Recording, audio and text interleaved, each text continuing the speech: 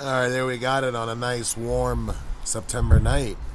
Moonflowers in the garden, blooming. And they smell sweet too, let me tell you. Especially that one right there.